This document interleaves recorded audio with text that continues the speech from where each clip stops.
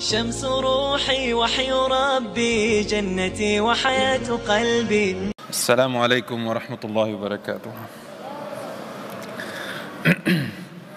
بسم الله الحمد لله والصلاة والسلام على رسول الله وعلى آله وصحبه أجمعين Brothers and sisters in Islam, I'm here to talk to you about one of my favorite topics and that is the description of Jannah. Let's take a walk inshallah through this place which Allah subhanahu wa ta'ala has promised. Has promised those who are God conscious in private and in open. Those of us who Imam al-Nawawi says there are four fundamentals for the person who wants to enter paradise. Number one, to strive hard in worship. Number two, to pardon others who have wronged you. Number three, to restrain your anger. And number four, to abstain from the haram things as much as you can. That is the road, insha'Allah, to Jannah. And the Shaykh after me will be talking about uh, something like that, insha'Allah ta'ala. So, my brothers and sisters in Islam, I begin with a verse in Surah Ali Imran where Allah subhanahu wa ta'ala makes a comparison between the world we live in and the world that is next, which He has promised. Allah says in the Quran, بعد أعوذ بالله من الشيطان الرجيم. بسم الله الرحمن الرحيم. اعلموا أنما الحياة الدنيا لعب وله وزينة وزينة وتفاخر بينكم وتكاثر في الأموال والأولاد. كمثل غيث أعجب الكفار نباته ثم يهيج فتراه مصفرا ثم يكون حطاما وفي الآخرة عذاب شديد ومغفرة من الله ورضوان وما الحياة الدنيا إلا متاع الغرور which means know that this worldly life is nothing but play and entertainment and decorations and competition boasting over what I have and what you have among each other and raising and gathering loads and herds of wealth, and children a backbone. Just like a cloud that comes that pleases farmers a lot because they look forward to it. And then it begins to rain and produce for them crops of abundance. And then those crops, after a little while, wither away, and then till the next season. So you enjoy it for a little bit and it's gone. This is the example of the worldly life, Allah says. And in the hereafter, He says, there will be heart torment and forgiveness from Allah subhanahu wa ta'ala. And with Allah is the best of rewards. But you know what Allah subhanahu wa ta'ala then says?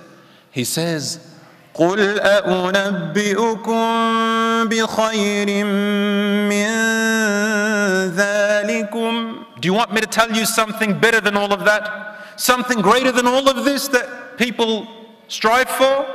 للذين اتقوا عند ربهم جنات تجري من تحتها الأنهار خالدين فيها وأزواج مطهرة ورضوان من الله والله بصير بالعباد For those who fear Allah subhanahu wa ta'ala and abstain from the things which anger Him, with their Lord are many paradises. Jannat is a plural for Jannah.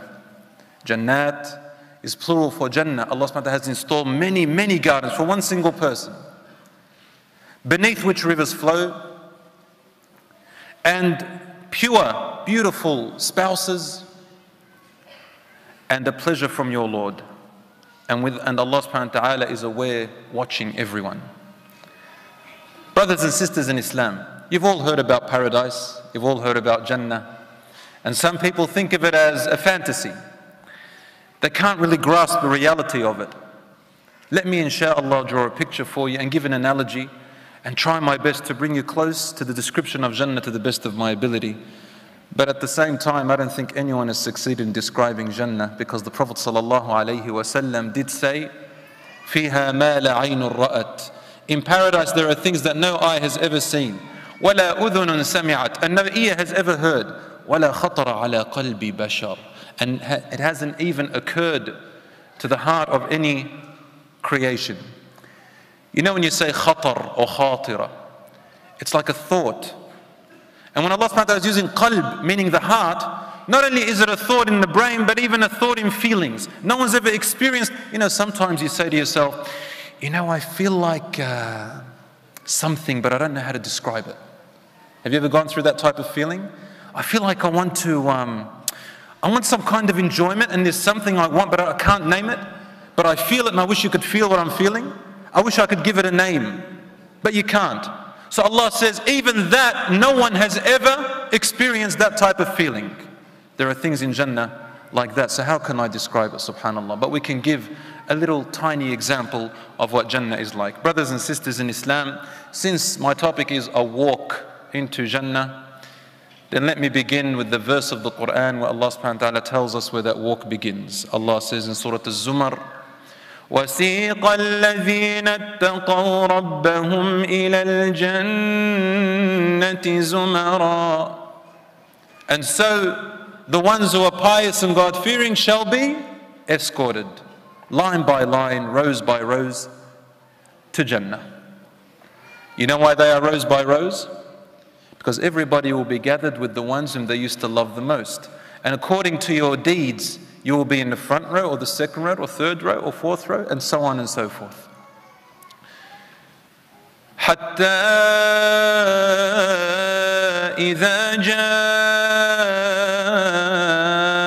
جاءوها وفتحت أبوابها وقال لهم خزنتها سلام وقال لهم خزنتها سلام عليكم طبتم فادخلوها خالدين How beautiful is that picture? They are escorted by the angels, rows after rows, according to where they belong, according to their deeds and status. And then when they reach it, Allah says, at the doors of Jannah, and the door is opened, the angels who are standing to welcome the people, they say to them the first word. What do you think they say first thing? Peace. Because this is what we're all yearning for. We're yearning for the everlasting comfort of peace in our heart and for the rest of our life, physically, in our feelings, in our ears, with what we see, with how we speak. And that's the first thing the angels say. Salamun alaykum. Peace is all upon you. Tibtum. Oh, how pure and wonderful you are. Fadkhuluha khalidin. Now enter it. Everlasting entrance. Brothers and sisters in Islam, I want to describe that moment when you're about to enter Jannah and then as you enter, insha'Allah ta'ala. In the books of tafsir, and I relate authentic hadiths, insha'Allah. There is a, a, series of lectures I gave about the end series, and there's so much information about paradise. In this only 20 minutes that I have, we'll try, insha'Allah, to summarize it in a way that you can get a clear picture. You come to the doors of Jannah, and you don't enter it straight away, because guess who has to open the door? He is Muhammad sallallahu alayhi wa sallam and he grabs the ring. Allahu alam what that ring looks like. Allah only knows the perfect description of this door. It's a marvelous door, huge door, very wide, hundreds of kilometers wide, in fact, because Allah subhanahu wa ta'ala's doors to Jannah are wide and His generosity is immense. The first one to knock on it is Muhammad sallallahu alayhi wasallam. And the guardian behind the door, the angel, asks, Who is it? And he says with all humbleness, Ana Muhammad. Sallallahu alayhi wasallam. I am Muhammad. Sallallahu Wasallam. And the angel says, Bika umirta al- umirtu alla aftaha illa ilayk. It is you who I have been commanded to not open the door to anyone but you. And the door is opened. He is the one privileged, our Prophet Muhammad sallallahu alayhi wasallam. Imagine, brothers and sisters, if you are the first group that enters with the Prophet sallallahu alayhi wasallam. Now, the other people who are waiting, you see, people come in lines. And as you come to the uh, doors of Jannah, there is like a waiting area. And the doors get crowded. The doors get very crowded according to the hadith, even though they are hundreds of kilometers wide. And the people want to race in there. And there are people waiting. You know, when you go first class on, uh, on an aeroplane, you're going overseas somewhere. Alhamdulillah, I got the chance to go first class once in my life. You go first class and you get to wait in this beautiful, uh, luxurious area, special um, guests, I've even forgot the name of it. and you get special services. So you're waiting there, and the first thing that you are given is to quench your thirst. After all this time of waiting in the day of judgment, you are given wine, which is mixed with ginger, to refresh yourself in the waiting area. And you are with these beautiful people with bright faces. They're all smiling, they're all cheerful. They're all telling you, Come and read my book. And you say, Read mine. And they say, Well, you know, what about mine? Look what I've done here. And Allah subhanahu wa ta'ala has wiped away all the sins. No one knows them. They're a secret between you and Allah subhanahu wa ta'ala. And you begin to boast about your books out of happiness. And no one feels jealous of anyone else for some reason. The feelings are starting to change. Because Allah says in the Quran, وَنَزَعْنَا مَا فِي قُلُوبِهِم مِّن غِلٍّ we, have, we will take out from their hearts every bad feeling. No jealousy, no hatred, no envy, no competition. None of that. And everybody's happy for everyone else. In fact, everyone's happy for what they've received. And then the entrance begins. Your name is called out one by one. And you enter Jannah one by one. And you are called by the best names that used to be called in this world and by your father's names with the best of names. As you enter into Jannah, you get lost in the beauty of what you hear, what you see, and who you meet. Everybody runs off to their own palaces, their own belongings. Rasul tells us in the Sahih Hadith that a person will go to their palace and to their property and they'll know exactly where it is, exactly as they knew their homes in this world and even better. Allah subhanahu wa ta'ala suddenly puts in your heart the know how of how to get to your property. You know it because it belongs to you. And everybody's busy. They want to go and see their property. They want to see their spouses. They want to see the angels. They want to see what Allah subhanahu wa ta'ala has in store for them. So they enter. And there are beautiful, imagine the beautiful sounds that you're going to hear. There's a hadith in Sahih Muslim that Israfil, the angel that blows in the trumpet, sings in Jannah. And his voice is unbelievable, like you've never heard ever. So you don't just enter paradise and it's dull, but with the most beautiful of voices, fragrances, sightseeing. The standard look of Jannah, if you were to look at the floor, you know, when you go outside and you're walking, there's pebbles under you, you just sort of kick them aside. In Jannah, they are pearls, pearls and diamonds. Or a type of pearl and a type of, uh, you know, different types of gems that you actually stand on and walk on. And this is the most insignificant part of Jannah. So imagine what your buildings are built out of.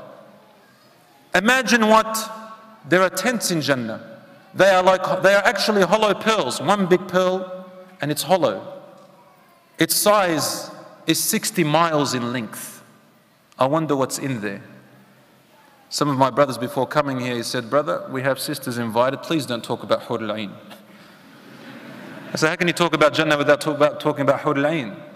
And just because Hur al-Ain is there, why are you afraid? There's also something for the women there too. We just don't talk about it.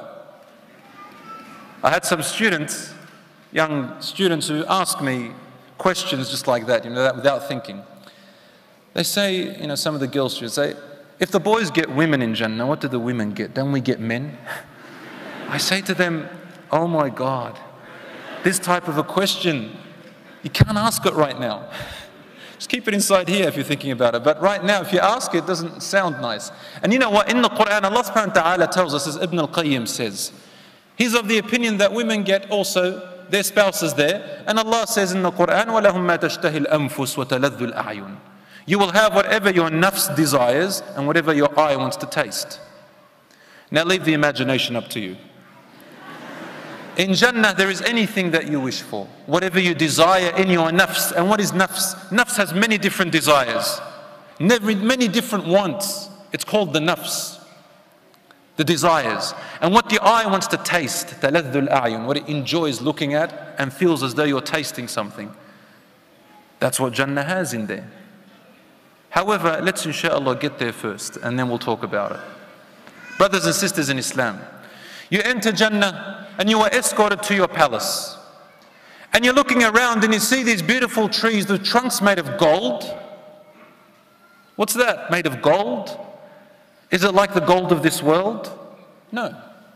There's silver. Is it like the silver of this world? No. You look at it and you say, This is gold, that's silver, but it's not like any gold I've ever seen before or silver I've ever seen. The trunks are huge, the leaves are massive, the shade is humongous.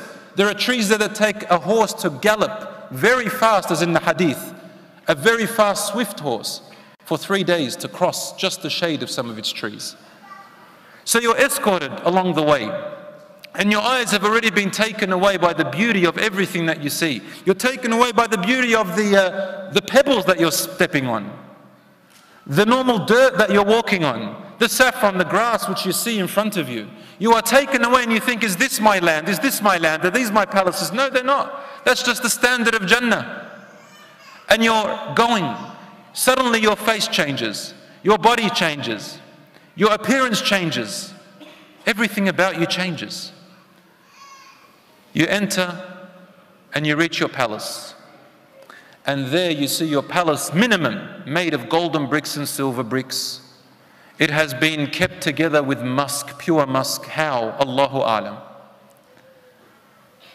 And the light is humongous. It emanates from the arsh of Allah subhanahu wa ta'ala. That's the light of Jannah. There's no sun.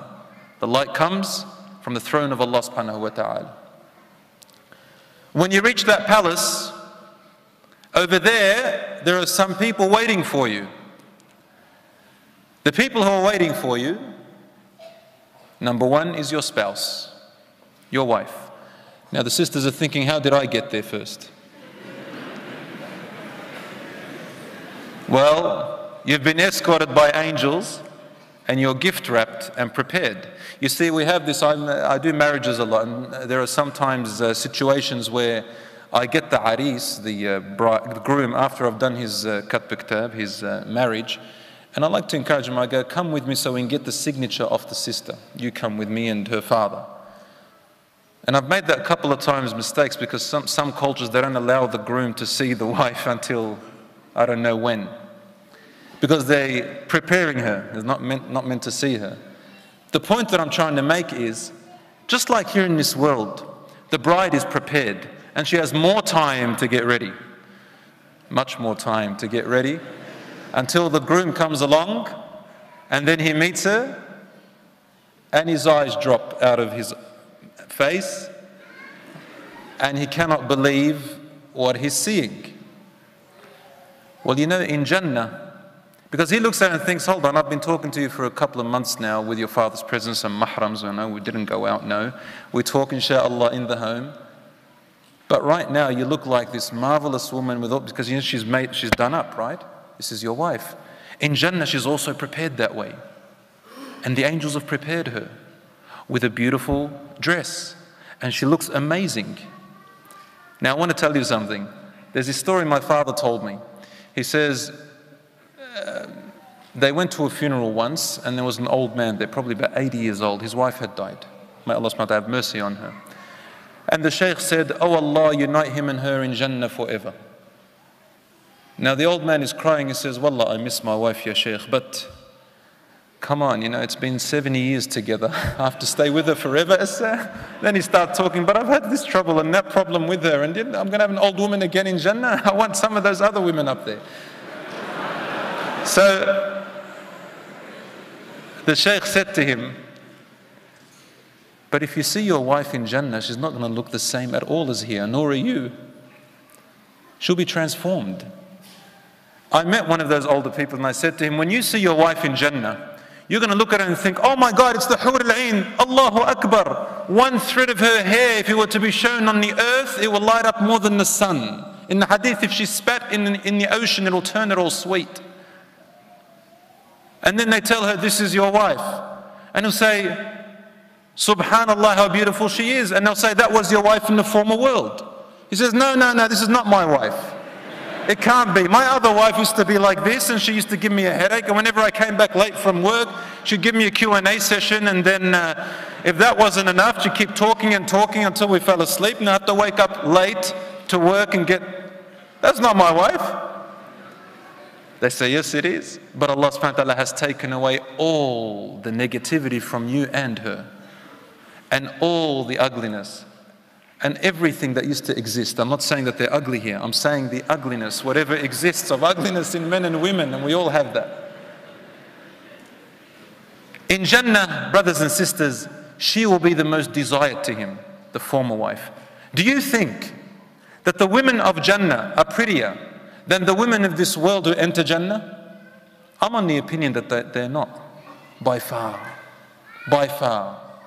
In fact, 70 multiples is minimum of beauty and desire and attractiveness.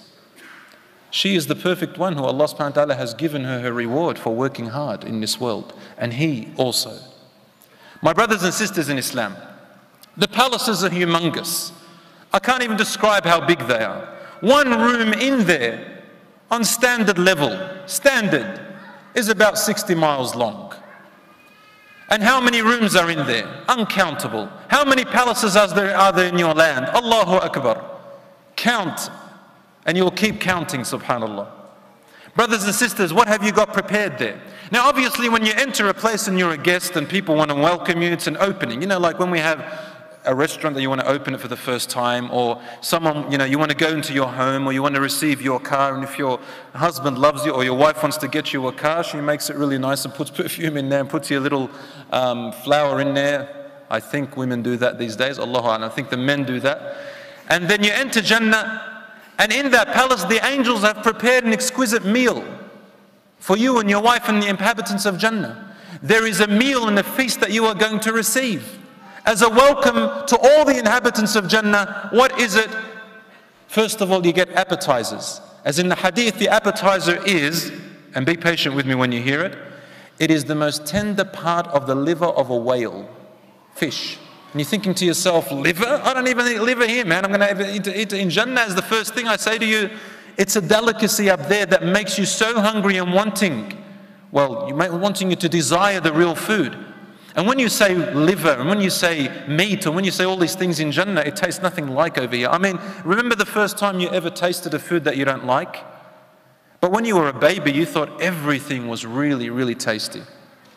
My daughter, first of all, started off on the normal milk from her mother, and then we put her on this formula milk, and now she wants the formula milk, and then you you want to get her off the formula, and the first time she tastes normal milk, then she wants normal milk, then she tastes honey, and now she wants honey, and then she tastes this other food, which you and I really see as quite normal, but for the baby it's something amazing because the first time they taste.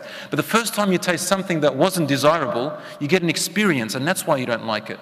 But in Jannah, when you say liver of the whale, it's not like the liver that you taste here. It's not like the fish that you taste here if you don't like fish. But beyond your imagination, you'll say, oh my God, this fish is something else, man. It tastes like cake. Cake Cake is nothing. And up there, this is the appetizer. And then the angels say to you, eat, eat, and you can't get enough of it. One tiny tender part of the liver of the whale feeds the whole of the inhabitants of Jannah as an appetizer. Yes. Then you get wine from a fountain called Salsabil, but it's not intoxicant.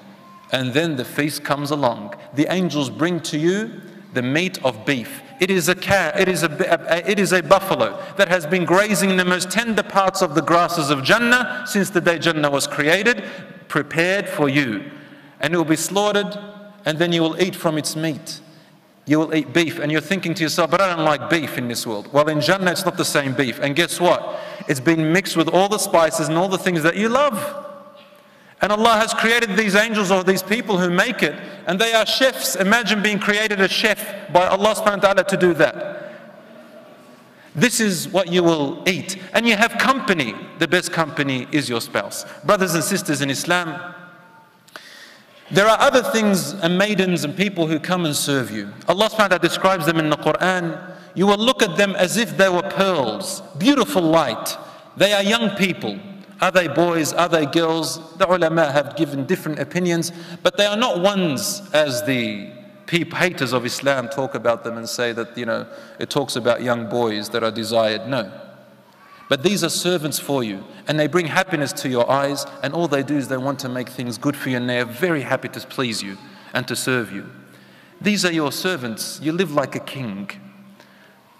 Upon a king, upon a king, upon a king. I mean, the least person who gets in Jannah is as much as seven kings. And in another hadith, he gets as much as the world by tenfold. And this is the last person who enters paradise.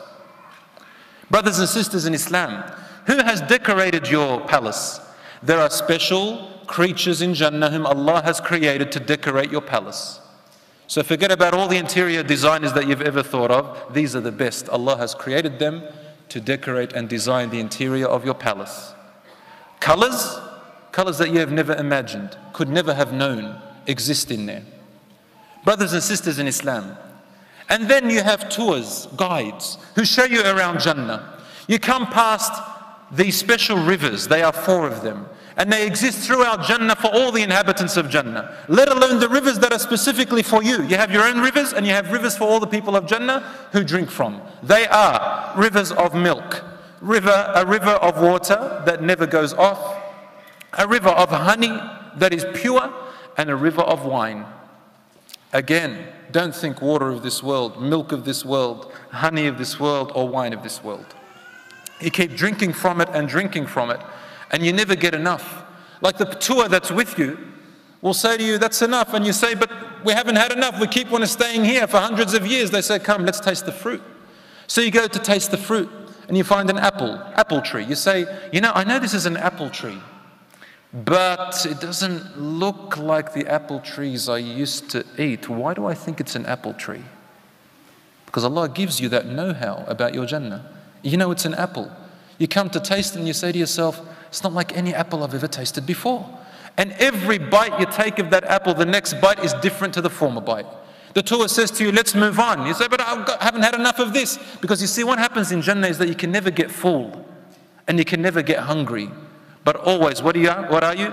Let's have a look. If you can't get hungry and you can't get full, if you can't ever get enough of something, but you can never you can never get enough of something, you can never get full, you can never get hungry. You don't go to the toilet. I see the young boys and girls here. You don't go to the toilet there ever again. So you don't have to worry about your mums and dads telling you, Did you go to the toilet this morning? Up there, there's no toilet. You don't need to. There's nothing that smells anymore. There's nothing that, you don't sweat anything smelly. One Jewish man said to the Prophet, ﷺ, he said to him, a group of them said, In Jannah, you eat. He says, Yes, you eat. And you drink? He says, You drink. And Prophet ﷺ said to him, You have the strength of 100 men. You even cohabitate have intercourse and the strength of a hundred men. So there is all sorts of desires up there. Yes, all your desires are met. Then he says to him, Okay, well, where does the food and drink go then? I thought that in Jannah there's no smell and no impurities. Rasul answered him by saying, It comes out as sweat. Now, before you think smelly sweat, there is no smelly sweat in Jannah. It comes out like pure musk. I'm sure a lot of you like to pour on perfume before you go out when you first met to get married, when you were engaged, lots of perfume. Six months down the track, I don't know what happens, but it shouldn't stop. Brothers and sisters in Islam, that sweat is like perfume and musk. It fills Jannah. And so you go eating from the fruit. Then you come to another apple tree and you say, But we just ate an apple tree before. And he says, No, this is different. Allah says in the Quran, وَأُتُوا بِهِ مُتَشَابِهًا And you will be given fruits that look like other fruits, but they taste absolutely different. And you keep eating as much as you can, never get full. It's, what is only left in Jannah? Just the beautiful desire and enjoyment. That's all that's left. It's just pure enjoyment. You can never get enough of everything. You can swim in a river made of chocolate and eat chocolate fish if you want, and you will never get enough because there's no diabetes, there's no issues of overweight, there's no issues of underweight, there's no issues of anything at all.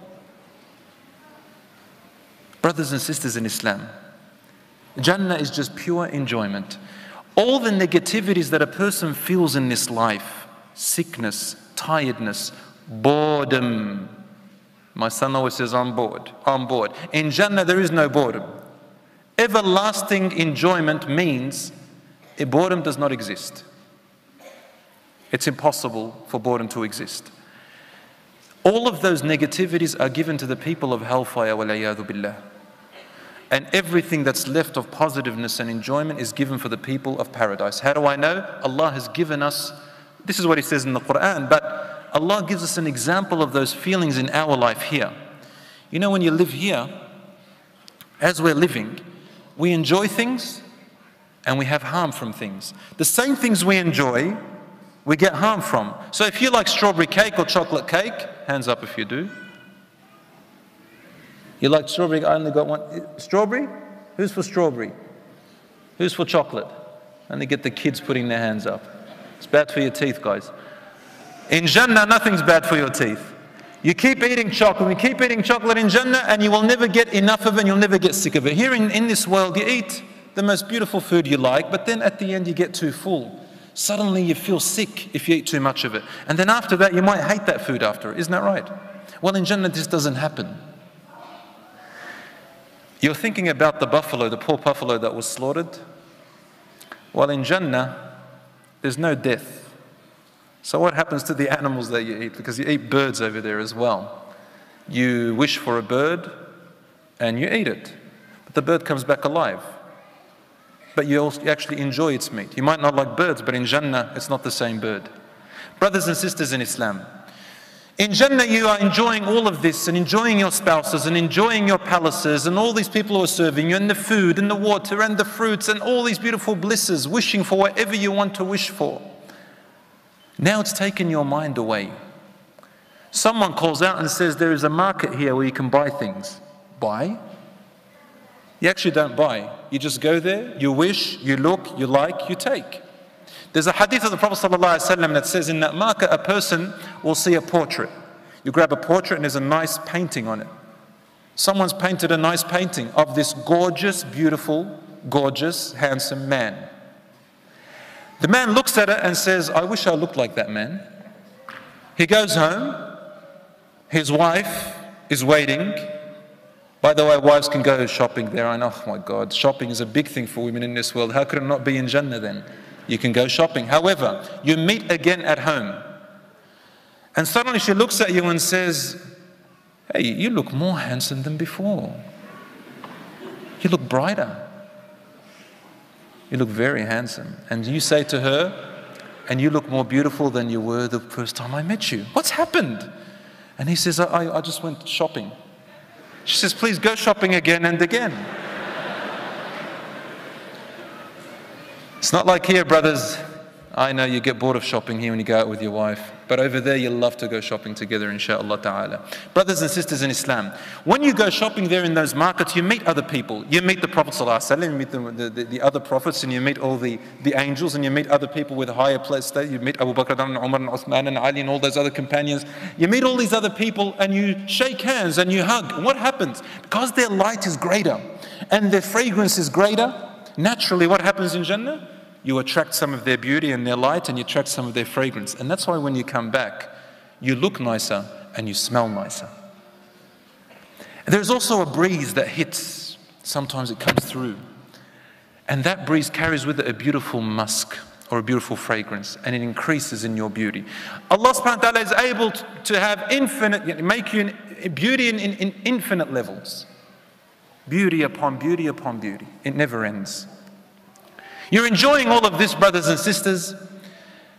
And by the way, brothers, please don't disturb me, inshallah. If I enter Jannah, Ya Rab, I'll have do not disturb for a thousand years.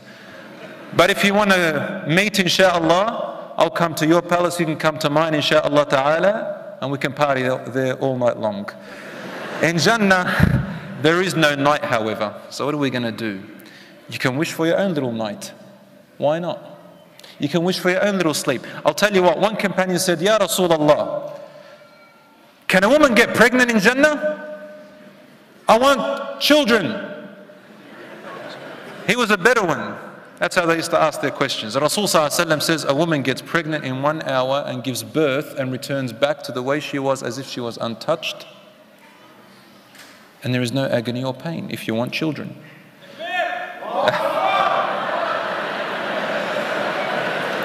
May Allah help your wife. May Allah subhanahu wa ta'ala give your offspring a comfort to your eyes. How's that? I fixed it up before the brother follows me home tonight. Brothers and sisters in Islam, one Bedouin called out and he says, Ya Rasulullah, Oh, sorry, another man called out and says, Ya Rasulullah, what about plantation? Can I farm in Jannah? The guy wants to farm and plow and dig and plant. He said, Rasulullah smiled and he said, Allahu Akbar. In Jannah, you plant the seed and suddenly the beauty of your crops begins to race with your eyes. Sabaq al meaning your eyes and the beauty and the growth, it's in a race now. You can't catch up. And then a Bedouin man said, Ya Rasulullah, wallahi, he must be some muhajir or an ansari because we Bedouins, we don't like farming, man. We go up there and farm and plow. What's wrong with you people? Wallahi, I met once a Jehovah's Witness. Her name was Maria. And she opened up the Bible, she thought it was the Bible, and she showed me a beautiful picture, well, a painting of this white man and an African looking woman. My, my son calls them brown. A brown woman with carrying apples on her head. And this white man, he was plowing. And they were looking at each other and they were smiling. And there was an, a lion that was playing with a butterfly, and sheep, and children, and snakes. No one's harming everyone. She said to me, Isn't that beautiful? I said to her, I asked her, What is that? She said, That's Jannah. That's paradise. Can't you see there's no difference between whites and blacks. There is no difference between, there's no harm. The children are playing around the lion and the lion is playing with the butterfly. It's beautiful and peace. I said, I might as well stay dead forever. She asked me why. I said, All I see is a man plowing again and a woman carrying apples up the hill. You're going to have to go to work again? I said, Paradise, there is no more work, there is no more worship, none of that ever again. I finally concluded with this, my dear sisters and brothers in Islam. So now you're taken away by all this beauty and all this, and you've forgotten about something which is the most important and the most beautiful gift that the believers are given. Because everything's so beautiful. There's one hadith that says the man, last man who enters paradise, he sees a light coming down from above and he thinks it's Allah but it's actually his wife. Really? That's how beautiful you are. And then someone calls out to come to a gathering place. You all gather and you sit on, in different positions. Some people first class, second class. In fact, in the hadith it says that you look at the people of higher superiority like the way you see stars here because of their good actions. Everybody's sitting there and no one, no, there's no obstacles in front of you. Suddenly you hear someone and he says to you, my servants or my worshippers, are you pleased? And we say, Oh, our Lord, we are pleased. And then Allah says, Behold, no more, no, there, is, there will be pleasure from me upon you forever, and I will never ever be displeased with you. Is there anything that is missing that you still want? And we say, Insha'Allah, Oh our Lord, how could there be anything else when you have saved us from the fire and put us into Jannah? And then Allah subhanahu wa ta'ala says, There is one more promise that I have yet to fulfill. I have not fulfilled it yet. And now is the time. So you're sitting with your spouses and with all the inhabitants of Jannah in one place. And then Allah subhanahu wa ta'ala releases the veil. And you see Allah. You see Allah. Allah says in the Quran, وجوه يومئذ ناظرة إلى ربها ناظرة on that day, faces will be bright, looking at their Lord, Allah subhanahu wa ta'ala. And Ibn al Qayyim says in his beautiful poem, but in English it doesn't sound nice. What he says is, he says, they look at their Lord and suddenly there is no more beautiful thing that they have ever laid their eyes on after what they have laid their eyes on already from the beauty of Jannah than the sight of the Lord subhanahu wa ta'ala. When you see Allah subhanahu wa ta'ala, you forget all the beauty that you have ever seen until this point. Allahu Akbar. And what could describe the beauty of Allah subhanahu wa ta'ala? Nothing. Nothing. Brothers and sisters in Islam, I ask Allah subhanahu wa ta'ala to grant us this beautiful reward of the sight of Allah subhanahu wa ta'ala. For it is a reward. It is not something which Allah subhanahu wa ta'ala kept away from us deliberately just so that He can make us yani, like a punishment in this world or anything, but because the sight of Him is a reward and it is a pleasure in itself. And Jannah is all about seeing Allah and speaking to Allah subhanahu wa ta'ala finally. I ask Allah subhanahu wa ta'ala to make Jannah our abode.